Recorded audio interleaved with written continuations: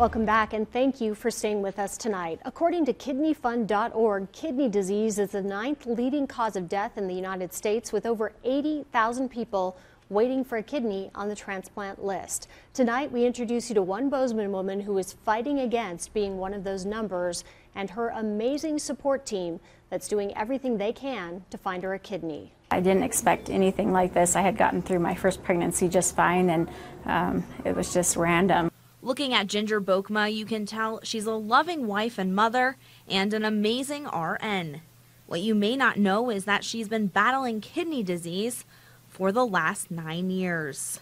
I had my daughter 10 years ago, and at my one year appointment to follow up with that, um, uh, my doctor noticed my lab work was off and she said, mm, that's strange, your, your kidney stuff is off. And I'm like, well, that's strange. So she sent me to an internal medicine doctor that followed me for a couple of months and she said, no, this is something else we're dealing with here. We need to send you to a nephrologist. Over the years, Ginger has seen herself getting sicker and sicker. Everything they've tried has made no difference in her health.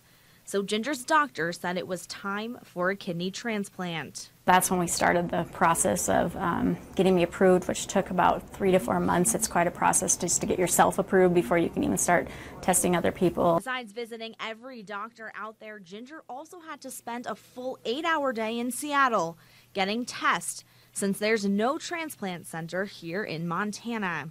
So it's a very specialized sort of therapy, um, and the uh, physicians that are doing these procedures, uh, waiting from the transplant surgeons to the transplant nephrologists, are specialized, specialized training and accreditation in this. Uh, the pharmacists that are involved in the process have specialized training with these uh, immunosuppressive and other medications.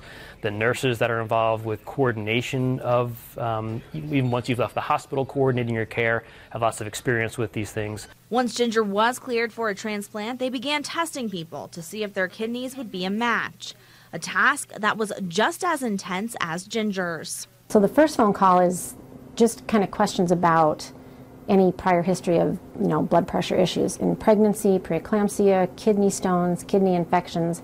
It didn't take much actually to get knocked off the list. Dr. Sean Gillis, an OB/GYN that works with Ginger in labor and delivery at Bozeman Health Deaconess Hospital. She's known Ginger for years and has been with her since she found out about her kidney failure. Even before Ginger progressed to this state, Dr. Gillis wanted to help. I remember we were just kind of hanging out on labor and delivery, and again, just I was just kind of asking how are things, where are things at with what's going on, and she said it's progressing, and at some point I'm probably going to need a kidney transplant. And I said, well, if and when you get to that point, let me know. I would totally be willing to be tested to see if that would be an option. There were more like Dr. Gillis at the hospital that wanted to help Ginger. Becky Walters, a lactation coordinator, picked up the phone along with her brother and father in law. Transplant coordinator said that it would probably take five years before, before I would probably find a deceased donor.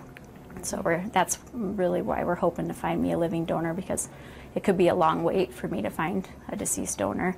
There were at least 19 people that Ginger even knows about that called the organ donor line, and only a handful have made it past the first phone call including Dr. Gillis. Emotional. Um, sorry. Um, I guess from my perspective, it was it was very natural for me to to offer that. It really it did not take any thought. It was it was more it was not in my from my head. It was literally from my heart, and um, and just her just expressing gratitude for that. It was pretty emotional. We've had a few emotional conversations, you might imagine.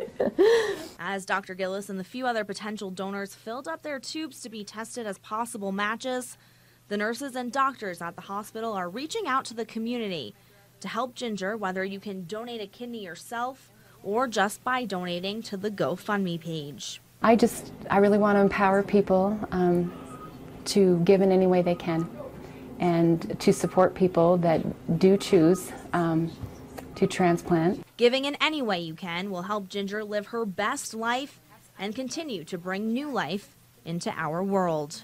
I feel like I'm a pretty normally happy, energetic person, so so I definitely would like to be able to keep doing that and keep being a nurse and be well and and just be a good mom and a good wife and a good friend and yeah, that's important for sure. In Bozeman, Morgan Davies, MTN News. Now, Dr. Gillis and the other potential donors hope to find out if they're a match for Ginger by the end of December. On our website, you can find a link to Ginger's GoFundMe page as well as the number for the organ donation line. We toss things over